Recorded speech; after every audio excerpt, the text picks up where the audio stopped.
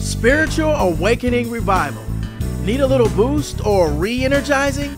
This three day revival will keep you encouraged and determined to reach your goals.